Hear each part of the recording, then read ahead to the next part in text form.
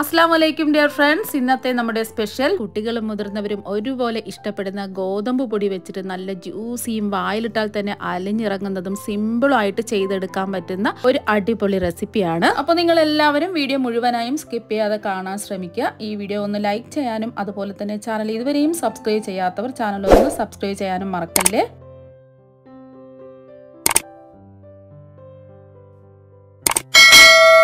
ഒരു മിക്സിയുടെ ജാറിലേക്ക് മൂന്ന് ടേബിൾ സ്പൂൺ പഞ്ചസാര ഇട്ട് കൊടുക്കുക. ഇനി ഫ്ലേവറിന് വേണ്ടിയിട്ട് മൂന്ന് ഏലക്കയും കൂടി ഇട്ട് കൊടുക്കാം. ഏലക്ക ഇട്ട് കൊടുക്കുമ്പോൾ തോട് കളഞ്ഞിട്ട് വേണമെങ്കിൽ ഇട്ട് കൊടുക്കാം. ഞാൻ മുഴുവനായിട്ട് ഇത് ഇട്ട് കൊടുക്കുന്നുണ്ട്. ഇനി ഇത് നല്ലതുപോലെ ഒന്ന് പൊടിച്ചെടുക്കാം.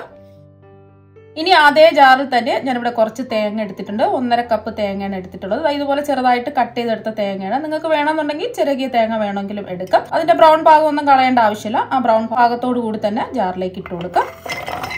ഇപ്പൊ ഞാൻ ഒന്നര കപ്പ് തേങ്ങയാണ് എടുത്തിട്ടുള്ളത്.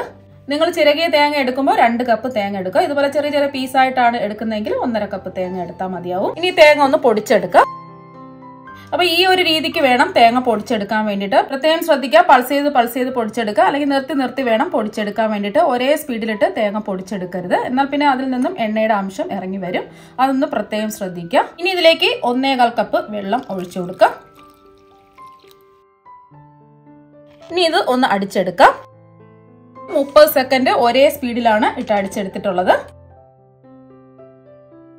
ഇനി നമ്മൾ അടിച്ചെടുത്ത തേങ്ങാപ്പാൽ ഒന്ന് അരിച്ചെടുക്കുന്നതിന് വേണ്ടിയിട്ട് ഇതുപോലത്തെ ഒരു ജ്യൂസൊക്കെ അരിക്കുന്ന അരിപ്പാണ് എടുത്തിട്ടുള്ളത്. ഇതിലേക്ക് ഈ അടിച്ചെടുത്ത തേങ്ങാപ്പാൽ ഒഴിച്ചു കൊടുക്കാം. ഇനി ഇതിന്റെ പാൽ മുഴുവൻ ഇതുപോലത്തെ ഒരു സ്പാച്ചിലുണ്ടോ. ഒരു സ്പൂൺ വെച്ചോ ഇതുപോലെ ഒന്ന് പ്രസ് ചെയ്ത് ഇതിന്റെ പാൽ മുഴുവനും എടുക്കാം. അല്ലെങ്കിൽ കൈ കൊണ്ട് പിഴിഞ്ഞെടുത്താലും മതി. ഇപ്പൊ നമ്മൾ അടിച്ചെടുത്ത തേങ്ങയിൽ നിന്നും ദാ പാൽ മുഴുവനും എടുത്തിട്ടുണ്ട്. ഇപ്പൊ നമ്മൾ ജ്യൂസ് അരിക്കുന്ന അരിപ്പിലാണല്ലോ തേങ്ങാപ്പാൽ അരിച്ചെടുത്തിട്ടുള്ളത്. പെട്ടെന്ന് എളുപ്പത്തിന് വേണ്ടിയിട്ട് അരിച്ചെടുക്കുന്നതിന് വേണ്ടിയിട്ടാണ് ജ്യൂസ് അരിക്കുന്ന അരിപ്പിലൂടെ അരിച്ചെടുത്തത്. അപ്പോൾ ചെറിയ ചെറിയ തേങ്ങയുടെ കൊത്തുകളൊക്കെ ഉണ്ടാവും. അതൊന്ന് പോയി കിട്ടുന്നതിന് വേണ്ടിയിട്ട് നമ്മൾ ചായ അരിക്കുന്ന ചെറിയ ഹോളുള്ള അരിപ്പേ കൂടെ ഇതുപോലെ ഒന്ന് അരിച്ചൊഴിക്കാം. ഇപ്പൊ കണ്ടില്ലേ തേങ്ങയുടെ ചെറിയ ചെറിയ കൊത്തുകൾ? ഇത് നമുക്ക് മാറ്റാം. ഇപ്പൊ കണ്ടില്ലേ നല്ല കട്ടിയുള്ള തേങ്ങാപ്പാൽ ഇതാ കിട്ടിയിട്ടുണ്ട്. നമുക്ക് ഒന്നാം പാലിന്റെ ആവശ്യം മാത്രമേ ഉള്ളൂ. രണ്ടാം പാൽ നമ്മൾ എടുത്തിട്ടില്ല. ഇനി അരിച്ചെടുത്ത തേങ്ങാപ്പാൽ ഒന്ന് അളന്നെടുക്കാം. ഇപ്പൊ ഇരുന്നൂറ്റി അമ്പത് എം എല്ലിന്റെ കപ്പിന് ഒന്നര കപ്പ് തേങ്ങാപ്പാൽ ഇതാ കിട്ടിയിട്ടുണ്ട്. ഇനി ഒരു മിക്സിംഗ് ബൗളിലേക്ക് മൂന്ന് കപ്പ് ഗോതമ്പ് പൊടി ഇട്ട് കൊടുക്കാം. ഇരുന്നൂറ്റി അമ്പത് എം എല്ലിന്റെ കപ്പിന് മൂന്ന് കപ്പ് ഗോതമ്പ് പൊടിയാണ് എടുക്കുന്നത്. അപ്പം ഈ അളവ് കപ്പ് ഇല്ലാന്നുണ്ടെങ്കിൽ ഏതെങ്കിലും ഒരു ഗ്ലാസ് എടുക്കുക. അതിനനുസരിച്ച് വേണം ബാക്കിയെല്ലാം അളന്നെടുക്കാൻ വേണ്ടിയിട്ട്. ഇനി ഇതിലേക്ക് അരക്കപ്പ് മൈദയും കൂടി ഇട്ട് കൊടുക്കാം. ഈ മൈദ ഇടുന്നത് നമ്മുടെ പലഹാരത്തിന്റെ ഉള്ളിൽ നല്ല സോഫ്റ്റ് ആയിരിക്കുന്നതിന് വേണ്ടിയിട്ടാണ്. ഇനി ഇതിലേക്ക് അര ടീസ്പൂൺ ഉപ്പിട്ട് കൊടുക്കാം. ഇനി ഇതിലേക്ക് ഒന്നര ടീസ്പൂൺ ബേക്കിംഗ് പൗഡർ ഇട്ട് കൊടുക്കാം. ബേക്കിംഗ് പൗഡർ എടുക്കുമ്പോൾ കുത്തി നിറച്ചെടുക്കാതെ ലെവൽ ചെയ്ത് വേണം എടുക്കാൻ വേണ്ടിയിട്ട്. ബേക്കിംഗ് പൗഡർ ഇല്ലാന്നുണ്ടെങ്കിൽ അര ടീസ്പൂൺ സോഡാപ്പൊടി എടുത്താൽ മതിയാവും. ഇനി നമ്മൾ നേരത്തെ പൊടിച്ചു മാറ്റി വെച്ച പഞ്ചസാര ഇതിലേക്ക് മുഴുവനും ഇട്ട് കൊടുക്കാം. ഇനി എല്ലാം കൂടിയിട്ട് ഒന്ന് മിക്സ് ചെയ്ത് കൊടുക്കാം. അതായത് ഇതുപോലെ സ്പൂൺ വെച്ച് ഒന്ന് മിക്സ് ചെയ്ത് കൊടുക്കുക ആ ബേക്കിംഗ് പൗഡറും അതുപോലെ തന്നെ ഉപ്പ് പഞ്ചസാര എല്ലാം മാവുമായിട്ട് ഒന്ന് യോജിച്ച് കിട്ടണം. ഇപ്പൊ ഒന്ന് മിക്സ് ചെയ്ത് എടുത്തിട്ടുണ്ട്. ബേക്കിംഗ് പൗഡർ ഇട്ടതുകൊണ്ട് നല്ല രീതിയിൽ ഒന്ന് മിക്സ് ചെയ്ത് എടുക്കണം. ഇനി നമ്മൾ അളന്ന് മാറ്റി വെച്ച തേങ്ങാപ്പാൽ കുറേശ്ശെ ഒഴിച്ച് ഇതിലേക്ക് മിക്സ് ചെയ്തെടുക്കാം. ഒരുമിച്ച് ഒഴിക്കരുത്. കുറച്ച് കുറച്ച് വീതം ഒഴിച്ച് വേണം മിക്സ് ചെയ്തെടുക്കാൻ വേണ്ടിയിട്ട്.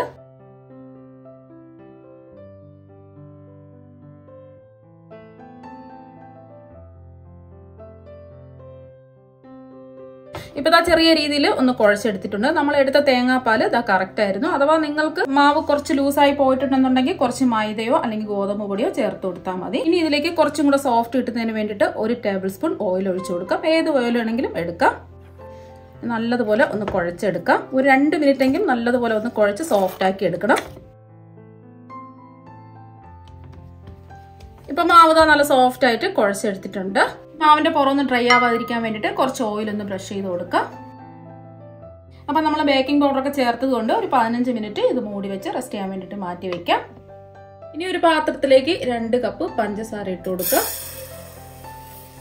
രണ്ടാമത്തെ കപ്പ് പഞ്ചസാരയും കൂടി ഇട്ട് കൊടുക്കാം. ഇത് ഇരുന്നൂറ്റി അമ്പത് എം എല്ലിന്റെ കപ്പിന്റെ അളവാണ്. ഇനി ഇതിലേക്ക് മൂന്ന് കപ്പ് വെള്ളം ഒഴിച്ചു കൊടുക്കാം. ഇപ്പൊ ഇതാ മൂന്ന് കപ്പ് വെള്ളം ഒഴിച്ചു കൊടുത്തിട്ടുണ്ട്. രണ്ട് കപ്പ് പഞ്ചസാരയ്ക്ക് മൂന്ന് കപ്പ് വെള്ളമാണ് എടുത്തിട്ടുള്ളത്. ഇനി ഒന്ന് ഇളക്കി കൊടുക്കാം. ഫ്ലെയിം മീഡിയം ഫ്ലെയിം വേണം വെക്കാൻ വേണ്ടിയിട്ട്. ഇനി ഇതിലേക്ക് രണ്ട് ഏലക്ക തല്ലിയതും കൂടി ഇട്ട് കൊടുക്കാം. നമ്മൾ നേരത്തെ മാവിൽ ഏലക്ക ചേർത്തിട്ടുണ്ടായിരുന്നു. അതുകൊണ്ട് വേണമെന്നുണ്ടെങ്കിൽ ഇപ്പോൾ ചേർത്ത് കൊടുത്താൽ മതി. ഇനി ഇതിലേക്ക് ഒരു ടേബിൾ സ്പൂൺ നാരങ്ങ നീരും കൂടി ഒഴിച്ചു കൊടുക്കാം.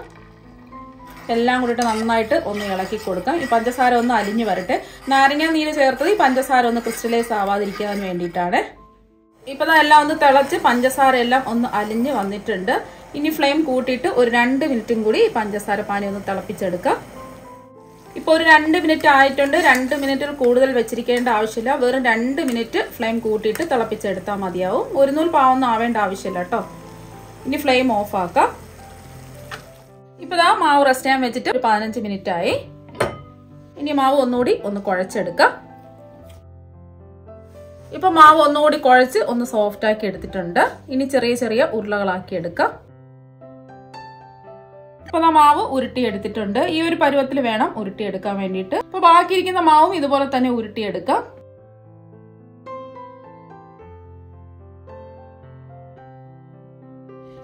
മാവും ചെറിയ ചെറിയ ഉരുളകളാക്കി ഇതാ ഉരുട്ടി എടുത്തിട്ടുണ്ട്. പ്രത്യേകം ശ്രദ്ധിക്കുക. എല്ലാ ഉരുളകളും ഒരേ വലുപ്പത്തിൽ വേണം ഉരുട്ടിയെടുക്കാൻ വേണ്ടിയിട്ട്. ഇനി നമ്മൾ ഉരുട്ടിയെടുത്ത മാവിന്റെ പുറമൊക്കെ ഒന്ന് ഡ്രൈ ആവാതിരിക്കുന്നതിന് വേണ്ടിയിട്ട് കുറച്ച് ഓയിൽ ഒന്ന് ബ്രഷ് ചെയ്ത് കൊടുക്കാം. ഇനി നമുക്ക് വേണ്ടത് ഇതാ ഇതുപോലത്തെ ഒരു ചീപ്പാണ്. ഇപ്പൊ ഞാൻ പുതിയ ചീപ്പാണ് എടുത്തിട്ടുള്ളത്.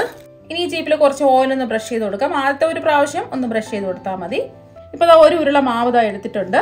ഇനി ഒന്ന് ഇതുപോലെ ഒന്ന് റോൾ ചെയ്തെടുക്കാം. ഇനി ചീപ്പിന്റെ പുറത്ത് വെച്ച് ഒന്ന് പരത്തി എടുക്കണം ഇനി പരത്തിയെടുത്ത മാവ് രണ്ടറ്റവും പിടിച്ച് ഇതുപോലെ ഒന്ന് ഒട്ടിച്ചു കൊടുക്കാം. ഇപ്പൊ ഇതാ ഒട്ടിച്ചു കൊടുത്തിട്ടുണ്ട്. ഈ ചീപ്പിൽ നിന്ന് മാവ് എടുക്കാം. ഇപ്പൊ കണ്ടിട്ട് നല്ലൊരു ഡിസൈൻ കിട്ടിയിട്ടുണ്ട്. ഇങ്ങനെ ഡിസൈൻ കിട്ടുന്നതിന് വേണ്ടിയിട്ടാണ് ചീപ്പിൽ വെച്ച് നമ്മൾ മാവ് ഇങ്ങനെ ചെയ്തെടുത്തത്.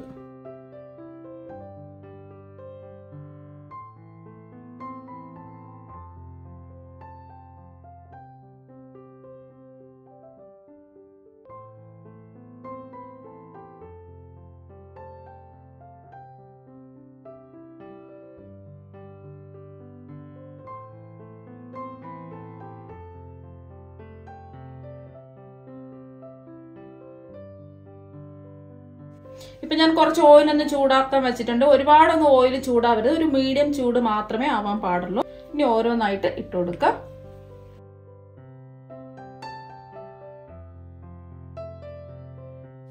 ഇപ്പൊ ഇതെല്ലാം ഒന്ന് ഇട്ട് കൊടുത്തിട്ടുണ്ട്. ഇനി ചെറുതായിട്ടൊന്ന് ഇളക്കി കൊടുക്കുക flame low to medium flame വേണം വെക്കാൻ വേണ്ടിയിട്ട്. ഒരു സൈഡ് ഒരു ഗോൾഡൻ നിറാവുമ്പോൾ തിരിച്ചിട്ട് കൊടുക്കാം. തിരിച്ചും മറിച്ചു വിട്ട് നല്ലൊരു ഗോൾഡൻ ബ്രൗൺ നിറാവുമ്പോൾ എണ്ണയിൽ നിന്ന് കോരി മാറ്റാം. ഇപ്പൊ നല്ലൊരു ഗോൾഡൻ ബ്രൗൺ നിറ ആയിട്ടുണ്ട് ഇനി എണ്ണയിൽ നിന്ന് കോരി മാറ്റാം. ഇനി ചൂടായി കിടക്കുന്ന ഷുഗർ സിറപ്പിൽ ഇത് ഇട്ട് കൊടുക്കാം.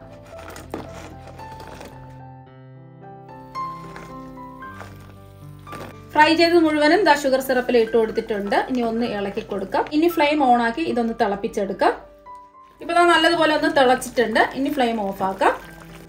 ഇനി ഇത് മൂടി വെച്ച് ഒരു മണിക്കൂറെങ്കിലും ഇങ്ങനെ തന്നെ വെച്ചിരിക്കാം ഇപ്പൊ ദാ ഒരു മണിക്കൂർ ആയിട്ടുണ്ട്. ഇനി ഇത് നമുക്ക് തുറന്ന് നോക്കാം. ഇപ്പൊ കണ്ടില്ലേ ഷുഗർ സിറപ്പൊക്കെ ഇതിൽ പിടിച്ച് കുറുകി നല്ലോണം വീർത്തതാ. നല്ല സോഫ്റ്റ് ആയിട്ട് ഇരിപ്പുണ്ട്. ഇപ്പൊ ആ ഒരു ഡിസൈൻ ഒക്കെ ദാ ഷുഗർ സിറപ്പിലൊക്കെ പിടിച്ച് കാണാൻ തന്നെ നല്ല ഭംഗിയാണ്. കഴിക്കാൻ വേണ്ടിയിട്ട് ഉഗ്രൻ ടേസ്റ്റുമാണ് ഇപ്പൊ ഇതെല്ലാം ഒരു പാത്രത്തിലേക്ക് മാറ്റിയിട്ടുണ്ട്. ഇനി ഇതിന്റെ പുറത്ത് കുറച്ച് ഷുഗർ സിറപ്പ് ഇതാ ഇങ്ങനെ ഒഴിച്ചു കൊടുക്കാം. ഇനി കാണാൻ ഒരു ഭംഗിക്ക് വേണ്ടിയിട്ട് കുറച്ച് പിസ്ത കട്ട് ചെയ്ത് ഇതിന്റെ മുകളിലായിട്ട് ഇതാ ഇങ്ങനെ വിതറിയും കൂടി ഇട്ട് കൊടുക്കാം. ഇതൊന്ന് മുറിച്ചും കൂടി കാണിച്ചു തരാം. മുറിച്ചെടുക്കുമ്പോൾ തന്നെ നിങ്ങൾക്ക് മനസ്സിലാക്കാൻ പറ്റും എത്രമാത്രം സോഫ്റ്റും ജ്യൂസി ആണെന്നുള്ളത്. ഒരു ചീപ്പ് ഉണ്ടെങ്കിൽ മോൾഡിന്റെ ഒന്നും ആവശ്യമില്ലാതെ നമുക്ക് വീട്ടിൽ സിമ്പിൾ ആയിട്ട് നല്ല ജ്യൂസി ആയിട്ടും വായിലിട്ടാൽ തന്നെ അലഞ്ഞിറങ്ങുന്ന മധുരം നമുക്ക് വേഗം റെഡിയാക്കി എടുക്കാൻ പറ്റും. അപ്പൊ നിങ്ങൾ എല്ലാവരും ഒരു പ്രാവശ്യമെങ്കിലും ഇതൊന്ന് ട്രൈ ചെയ്ത് നോക്കുക. തീർച്ചയായും നിങ്ങൾക്ക് എല്ലാവർക്കും ഇഷ്ടപ്പെടും. അപ്പൊ നമുക്ക് മറ്റൊരു വെറൈറ്റി ഡിഷുമായിട്ട് വീണ്ടും കാണാം. താങ്ക്